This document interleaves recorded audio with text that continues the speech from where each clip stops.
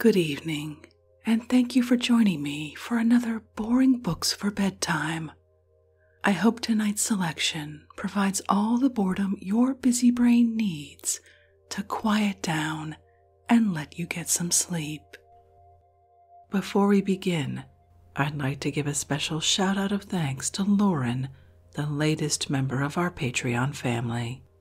Lauren, thank you so much for supporting this podcast. By becoming a member of Patreon, you help us keep making new episodes week after week and keep them ad free for everyone, and it's very much appreciated. If you're interested in supporting this podcast and finding out about the perks available to subscribers, you'll find a link to Patreon in the show description. The description also includes a link to buymeacoffee.com where you can support us with a one time tip, no subscription required. I hope you'll take a moment to check them out.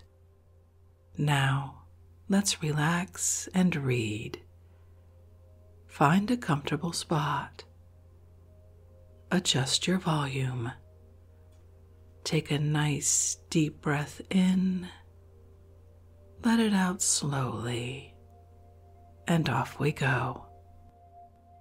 Tonight, we're reading Bacteria, especially as they are related to the economy of nature, to industrial processes, and to the public health, by George Newman, MD, FRS Edinburgh, DPH Cambridge, etc.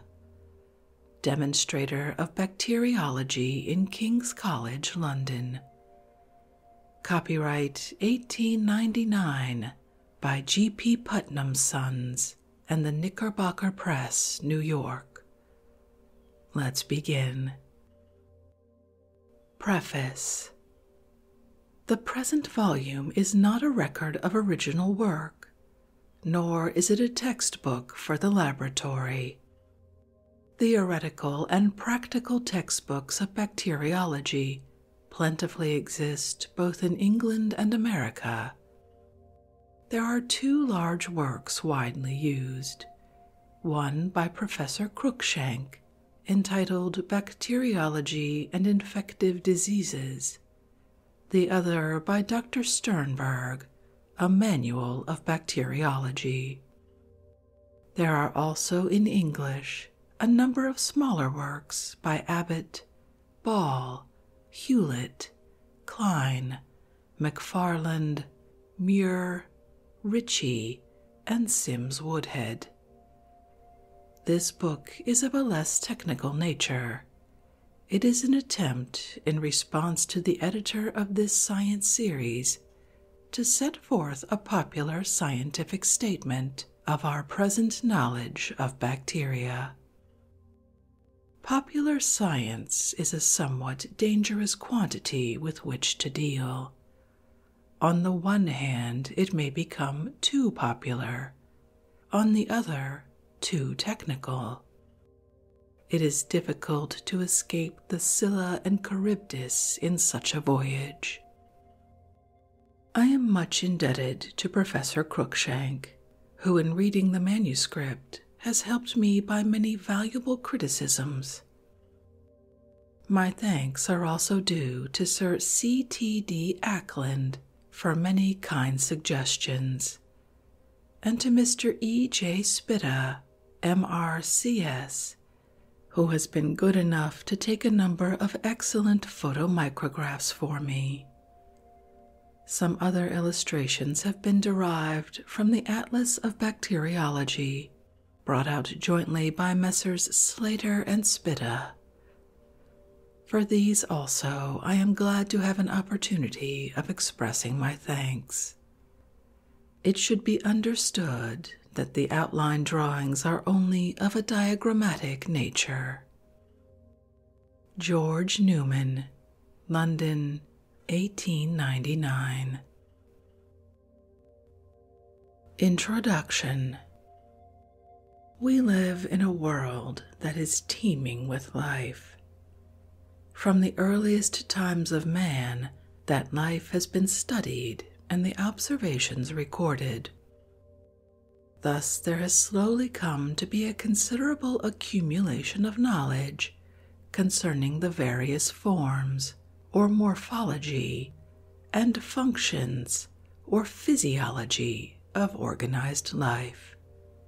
This we call the science of biology.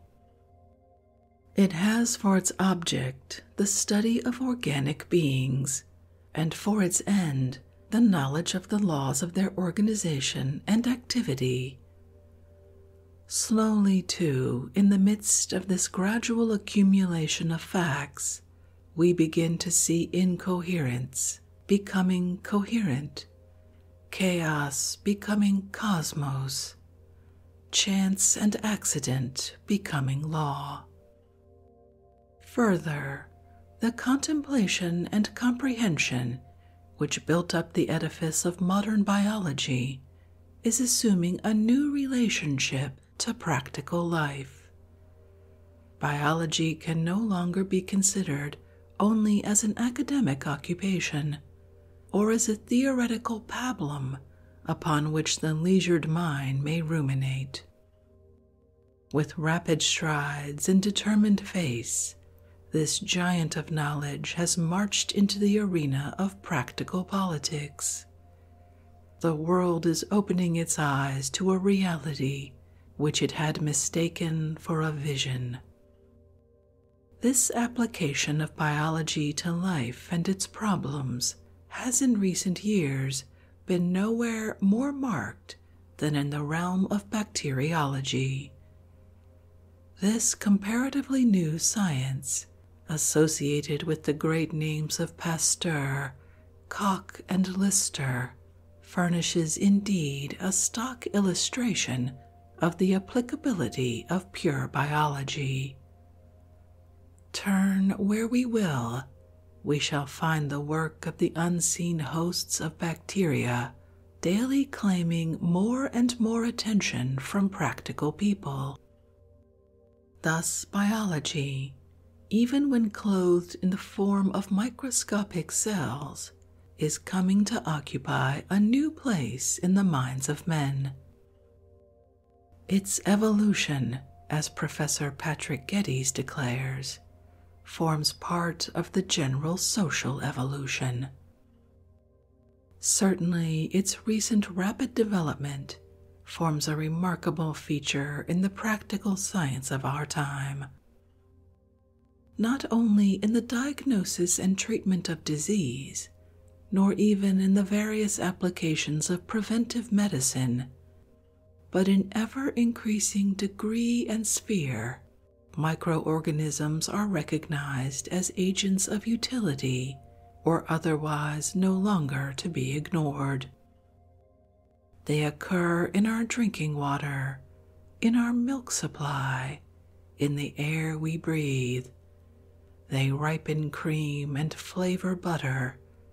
They purify sewage and remove waste organic products from the land. They are the active agents in a dozen industrial fermentations. They assist in the fixation of free nitrogen and they build up assimilable compounds. Their activity assumes innumerable phases and occupies many spheres, more frequently proving themselves beneficial than injurious. They are both economic and industrious in the best biological sense of these terms. Yet bacteriology has its limitations.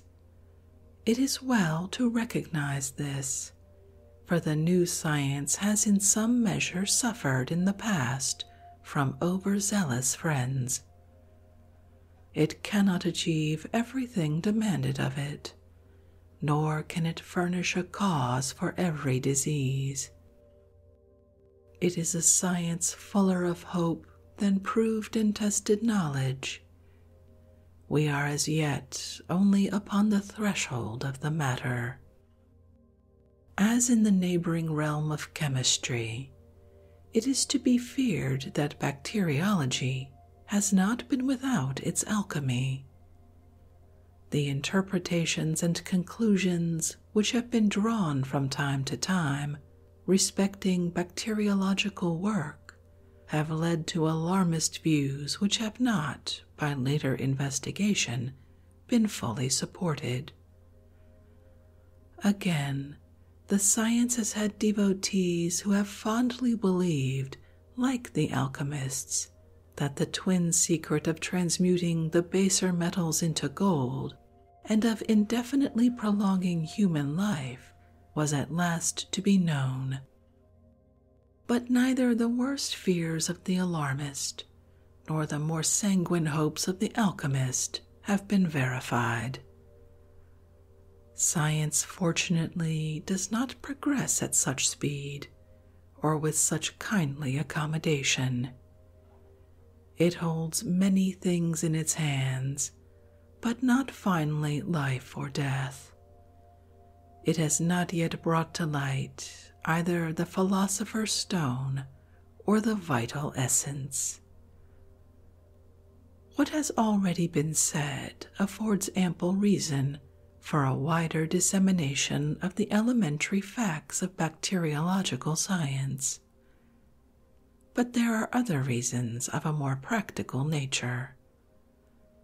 Municipalities are expending public moneys in water analysis, in the examination of milk, in the inspection of cows and dairies, in the bacterial treatment of sewage, and in disinfection and other branches of public health administration. The newly formed National Association for the Prevention of Tuberculosis are increasing colonial possessions with their tropical diseases.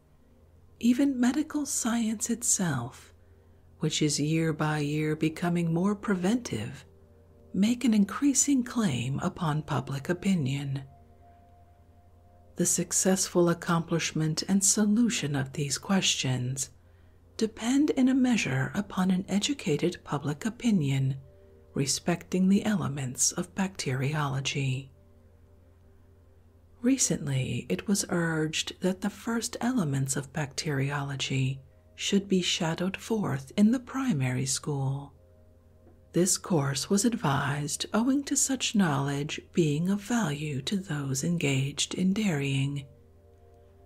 As we shall point out at a later stage, Many of the undesirable changes occurring in milk are due to bacteria. Even as the success of the butter and cheese industries depends on the use and control of the fermentative processes due to their action. Much of the uncertainty attending the manufacture of dairy products can only be abolished by the careful application of some knowledge of the flora of milk. In Denmark and in Scandinavia, the importance of such knowledge is realized and acted upon. America, too, has not been slow to respond to those needs. But in England, comparatively little has been done in this direction whilst there can be no doubt as to the advantage of a wider dissemination of the ascertained facts concerning bacteria, it should be borne in mind that only patient, skilled observation and experimental research in well equipped laboratories can advance this branch of science, or indeed train bacteriologists. The lives of Darwin and of Pasteur adequately illustrate this truth. Yet it is observable that states and public bodies are slow to act upon it. And frequently in the past, the most useful and substantial support for the advancement of science has been forthcoming only from private sources. As the world learns its intimate relation to science and the interdependence between its life and scientific truth, it may be expected more heartily to support science. Bacteria, Chapter 1 The Biology of Bacteria. The first scientist who demonstrated the existence of microorganisms was Antony van Leeuwenhoek. He was born at Delft in Holland in 1632 and enthusiastically pursued microscopy with primitive instruments. He corroborated Harvey's discovery of the circulation of the blood in the web of a frog's foot. He defined the red blood corpuscles of vertebrates, the fibers of the lenses of the human eye, the scales of the skin, and the structure of hair. He was neither educated nor trained in science, but in the leisure time of his occupation as a linen draper, he learned the art of grinding lenses, in which he became so proficient that he was able to construct a microscope of greater power than had been previously manufactured. The compound microscope dates from 1590, and when Leeuwenhoek was about 40 years old, Holland had already given to the world both microscope and telescope. Robert Hooke did for England what Hans Janssen had done for Holland and established the same conclusion that Leeuwenhoek arrived at independently that a simple globule of glass mounted between two metal plates and pierced with a minute aperture to allow rays of light to pass was a contrivance which would magnify more highly than the recognized microscopes of that day. It was with some such instrument as this that the first microorganisms were observed in a drop of water. It was not until more than a hundred years later that these animalcules, as they were termed, were thought to be anything more than accidental to any fluid or substance containing them. Plenciz of Vienna was one of the first to conceive the idea that decomposition could only take place in the presence of some of these animalcules. This was in the middle of the 18th century. Just about a century later, by a series of important discoveries, it was established beyond dispute that these microorganisms had an intimate causal relation to fermentation, putrefaction, and infectious diseases. Spallanzani, Pasteur, and Tyndall are the three who more than others contributed to this discovery. Spallanzani was an Italian who studied at Bologna and was in 1754 appointed to the chair of logic at Reggio, but his inclinations led him into the realm of natural history.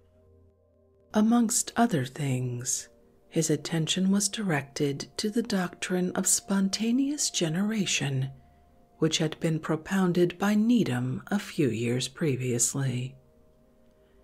In 1768, Spallanzani became professor of natural history at Pavia, and whilst there he demonstrated that if infusions of vegetable matter were placed in flasks and hermetically sealed, and then brought to the boiling point, no living organisms could thereafter be detected, nor did the vegetable matter decompose. When, however, the flasks were very slightly cracked and air gained admittance, then invariably both organisms and decomposition appeared. Schwann, the founder of the cell theory, and Schulze, both showed that if the air gaining access to the flask were either passed through highly heated tubes or drawn through strong acid, the result was the same as if no air entered at all. That is to say, no organisms and no decomposition.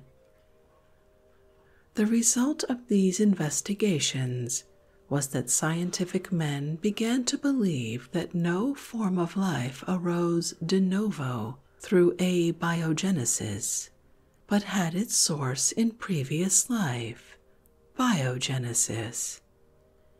It remained to Pasteur and Tyndall to demonstrate this beyond dispute and to put to rout the fresh arguments for spontaneous generation which Pouchet had advanced as late as 1859.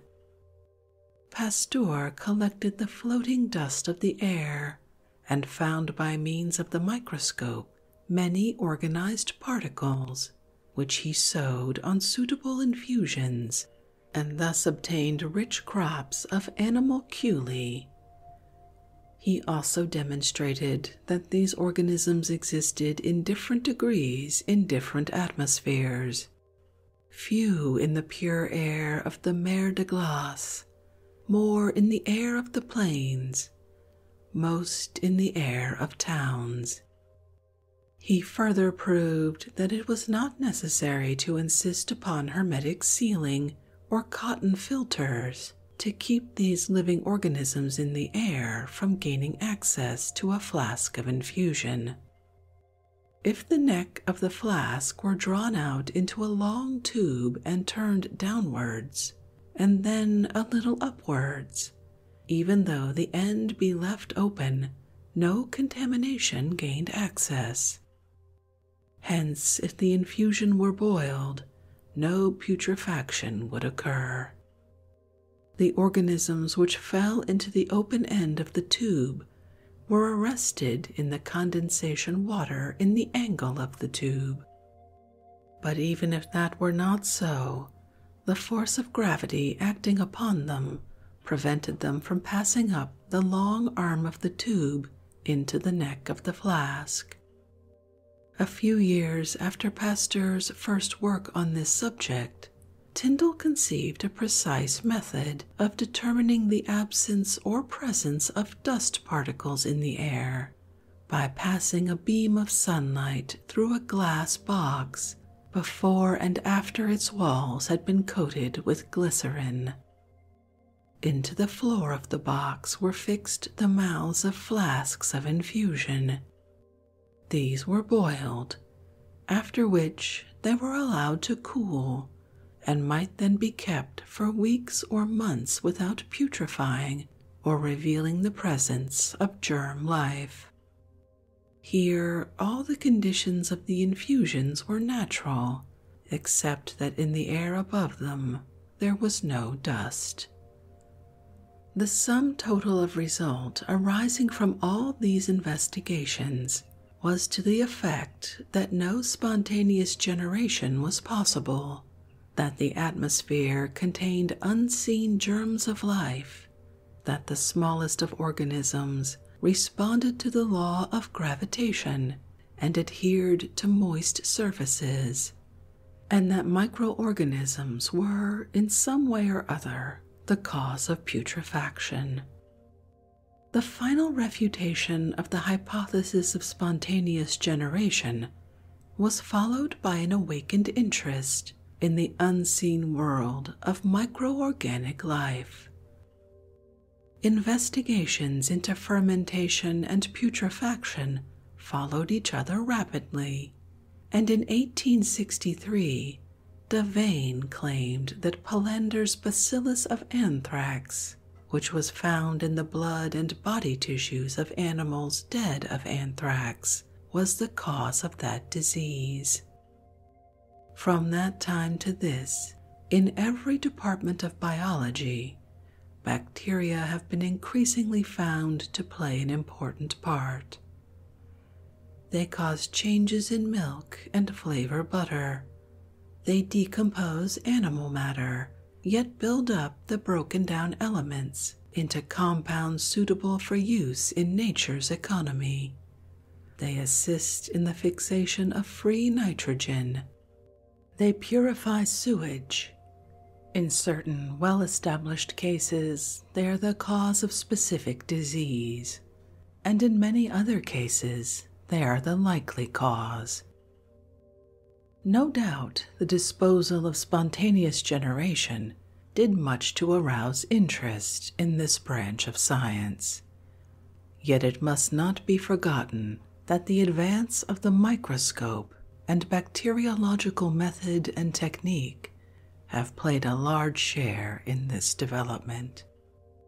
The sterilization of culture fluids by heat, the use of aniline dyes as staining agents, and the introduction of solid culture media like gelatin and agar and Koch's plate method have all contributed not a little to the enormous strides of bacteriology.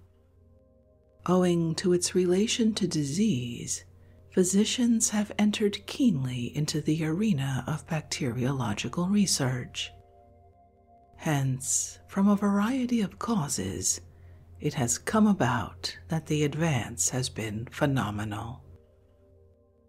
We shall now take up a number of points in the biology of bacteria which call for early attention and which are mostly the outcome of comparatively recent work on the subject. The place of bacteria in nature. As we have seen, for a considerable period of time after their first detection, these unicellular organisms were considered to be members of the animal kingdom. As late as 1838, when Ehrenberg and Dujardin drew up their classification, bacteria were placed among the infusorians.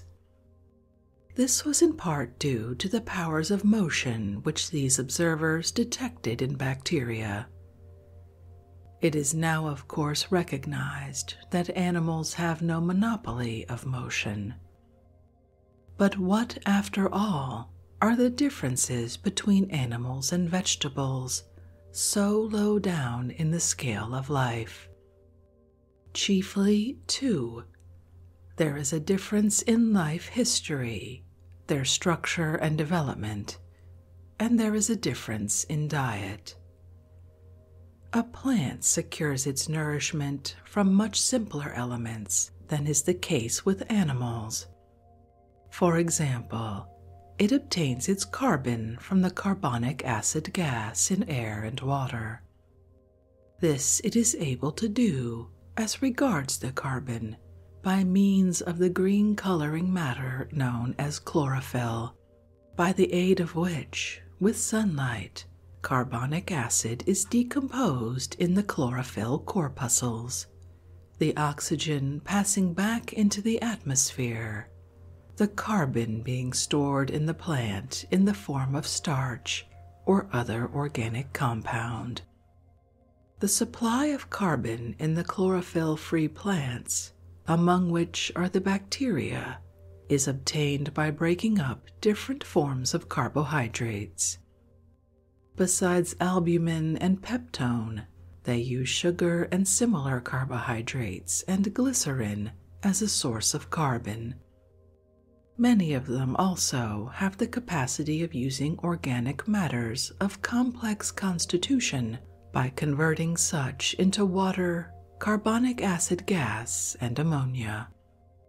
Their hydrogen comes from water, their nitrogen from the soil, chiefly in the form of nitrates.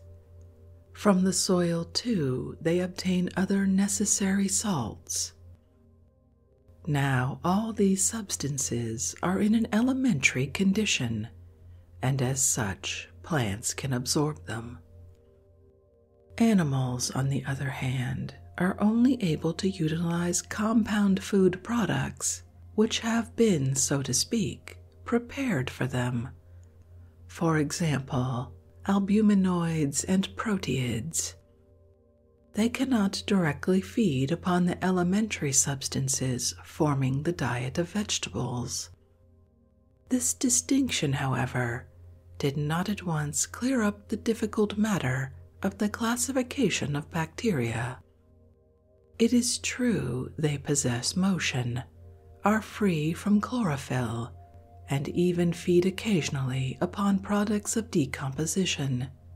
Three physiological characters which would ally them to the animal kingdom. yet by their structure and capsule of cellulose, and by their life history and mode of growth, they unmistakably proclaim themselves to be of the vegetable kingdom. In 1853, Cohn arrived at a conclusion to this effect, and since that date they have become more and more limited in classification and restricted in definition. Even yet, however, we are far from a scientific classification for bacteria, nor is this matter for surprise. The development in this branch of biology has been so rapid that it has been impossible to assimilate the facts collected. The facts themselves, by their remarkable variety, have not aided classification. Names which a few years ago were applied to individual species, like Bacillus subtilis, or Bacterium termo, or Bacillus coli, are now representative not of individuals, but of families and groups of species. Again, isolated characteristics of certain microbes, such as motility, power of liquefying gelatin, size, color, and so forth, which at first sight might appear as likely to form a basis for classification, are found to vary not only between similar germs, but in the same germ. Different physical conditions have so powerful an influence upon these microscopic cells that their individual characters are constantly undergoing change. For example, bacteria in old cultures assume a different size and often a different shape from younger members of precisely the same species. Bacillus pyocyaneus produces a green to olive color on gelatin, but a brown color on potato. The bacillus of tetanus is virulently pathogenic and yet may not act thus unless in company with certain other microorganisms. Hence, it will at once appear to the student of bacteriology that though there is a great need for classification amongst the six or seven hundred species of microbes, our present knowledge of their life history is not yet advanced enough to form more than a provisional arrangement.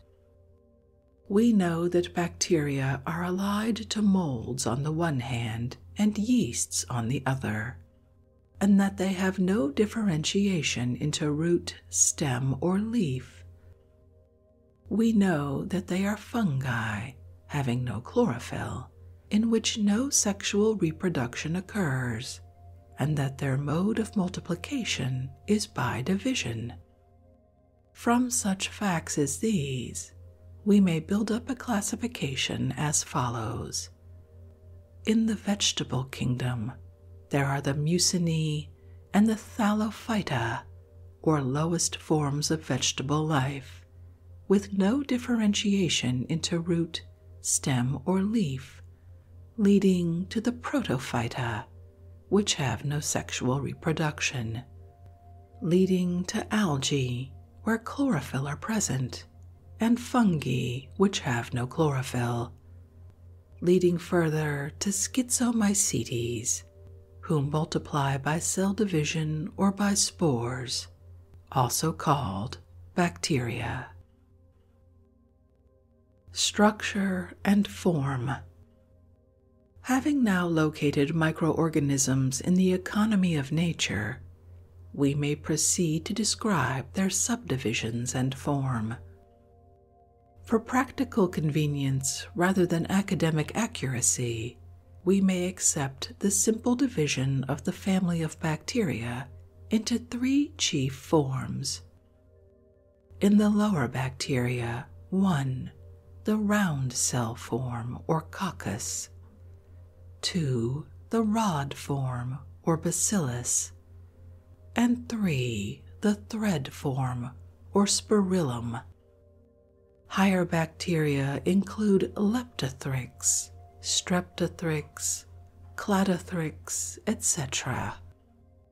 A classification dependent as this is upon the form alone is not by any means ideal, for it ignores all the higher and complicated functions of bacteria, but it is, as we have said, practically convenient. Number one, the coccus. This is the group of round cells. They vary in size as regards species and as regards the conditions, artificial or natural, under which they have been grown. Some are less than one twenty-five thousandth of an inch in diameter. Others are half as large again, if the word large may be used to describe such minute objects. No regular standard can be laid down as reliable with regard to their size. Hence, the subdivisions of the cocci are dependent not upon the individual elements so much as upon the relation of those elements to each other. A simple round cell of approximately the size already named is termed a micrococcus.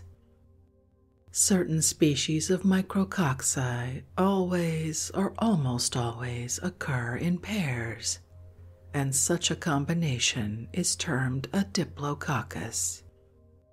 Some diplococci are united by a thin capsule, which may be made apparent by special methods of staining. Of others, no limiting or uniting membrane can be seen with the ordinary high powers of the microscope. One frequently finds a species which is exactly described by saying that two micrococci are in contact with each other and move and act as one individual, but otherwise show no alteration, whilst others are seen which show a flattening of the side of each micrococcus which is in relation to its partner. Perhaps the diplococci, in an even greater degree than the micrococci, respond to external conditions, both as regards size and shape. It must further be borne in mind that a dividing micrococcus assumes the exact appearance of a diplococcus during the transition stage of the fission. Hence, with the exception of several well marked species of diplococci, this form is somewhat arbitrary. The third kind of micrococcus is that formed by a number of elements in a twisted chain named Streptococcus. This form is produced by cells dividing in one axis and remaining in contact with each other. It occurs in a number of different species, or what are supposed by many authorities to be different species, owing to their different effects. Morphologically, all the streptococci are similar though a somewhat abortive attempt was once made to divide them into two groups, according to whether they were long chains or short. As a matter of fact, the length of streptococci depends in some cases upon biological properties, in others upon external treatment or the medium of cultivation which has been used. Sometimes they occur as straight chains of only half a dozen elements. At other times, they may contain 30 to 40 elements and twist in various ways, even forming rosaries. The elements, too, differ not only in size but in shape, appearing occasionally as oval cells united to each other at their sides. The fourth form is constituted by the micrococci being arranged in masses like grapes, the staphylococcus. The elements are often smaller than in the streptococcus, and the name itself describes the arrangement. There is no matrix and no capsule. This is the commonest organism found in abscesses, etc. The sarcina is best classified among the cocci, for it is composed of them in packets of four or multiples of four, produced by division vertically in two planes. If the division occurs in one plane, we have as a result small squares of round cells known as merismopedia. In both these conditions, it frequently happens that the contiguous sides of the elements of packets become faceted or straightened against each other. It may happen, too, particularly in the Sarcini, that segmentation is not complete and that the elements are larger than in any other class of cocci. They stain very readily. Nearly all the cocci are non motile, though Brownian movement may readily be observed. 2. The bacilli. These consist of rods having parallel sides and being longer than they are broad. They differ in every other respect according to species, but these two characteristics remain to distinguish them. Many of them are motile, others not. The ends or poles of a bacillus may be pointed, round, or almost exactly square and blocked. They all, or nearly all, possess a capsule. Individuals of the same species may differ greatly according to whether they have been naturally or artificially grown, and pleomorphic forms are abundant. 3. The spirilla. This wavy thread group is divisible into a number of different forms to which authorities have given special names. It is sufficient, however, to state that the two common forms are the non septate spiral thread, like the spirillum Obermeier of relapsing fever, which takes no other form but a lengthened spirillum, and the spirillum which breaks up into elements or units, each of which appears comma shaped, like the cholera bacillus. The degree of curvature in the spirilla, of course, varies. They are the least important of the lower bacteria. The higher bacteria group includes more highly organized members of the Schizomycetes. They possess filaments which may be branched, and almost always have septa and a sheath Perhaps the most marked difference from the lower bacteria is in their reproduction. In the higher bacteria, we have what is in fact a flower, terminal fructification by conidia. In this group of vegetables, we have the Beggiatoa, Leptothrix, Cladothrix, and at the top, the Streptothrix. It has been demonstrated that Streptothrix actinomycotica and Streptothrix maduri are the organismal cause, respectively, of actinomycosis and madura foot, two diseases which have hitherto been obscure. Pleomorphism. This term designates an irregular development of a species different media and external conditions bring about in protoplasm as susceptible as mycoprotein a variety of morphological phases. These may occur in succession and represent different stages in the life history of a bacterium, or they may be involution forms resulting from a change of environment and occurring as faults in the species. In the Bacillus coli B. typhosus, Bacillus of plague, and B. tuberculosis, pleomorphism undoubtedly occurs and is manifest in the change of shape. This is particularly marked in old cultures of the last named. The ordinary, well known bacillus may grow out into threads with bulbous endings granular filaments, drumsticks, and diplococcal forms. Speaking generally, the older the culture, the more marked is the variation. Polymorphism is a term used to define the theory which held that bacteria were one of the intermediate shapes or forms between something lower and something higher in the vegetable kingdom. Neither pleomorphism nor polymorphism is fully understood, and many bacteriologists find shelter from both in the term involution form. What we do know is that the species already named, for example, take on diverse forms when placed under different conditions.